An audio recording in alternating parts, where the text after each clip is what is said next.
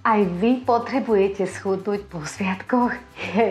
Ja už mám také problémy so všetkými nohavicami, ale mám pre vás riešenie. A začíname s brokoličkou, ale môže to byť hociaká iná zelenina. Pripravíme si takúto jednoduchú prílohu, ktorú môžete mať cestovina, môžete to mať k mesu alebo k tofu, ono k čomu, čo, čo máte radi.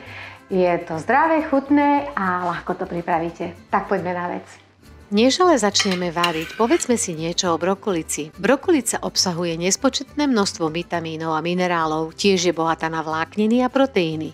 Dusená brokolica znižuje cholesterol, obsahuje protirakovinotvorné látky, tiež karotenoidy, ktoré znižujú poruchy zraku, pomáha vyrovnávať hladinu estrogénu a má protizápalové účinky. A keď už o nej toľko vieme, poďme si pripraviť túto zeleninovú pochuťku.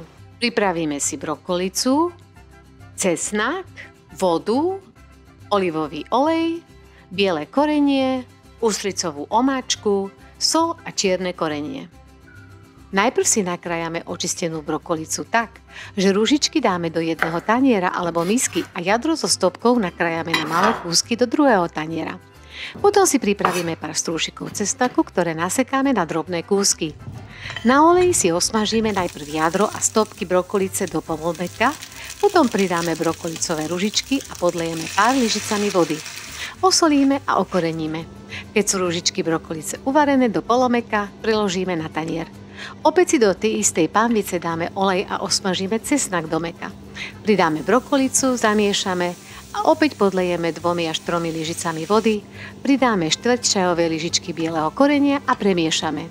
Už takto pripravenú brokolicu by sme mohli podávať ako zeleninovú prílohu. My ale pridáme ešte 5-6 polievkových lyžic ústricovej omáčky a tiež vody. Prevaríme pol minúty a naša príloha je hotová. Chuť je jemne sladko-slaná, cesnakovou príchuťou a chrumkavo brokolicová. No čo vám poviem. A najradšej podávam ako prílohu k cestovinám. Dobrú chuť!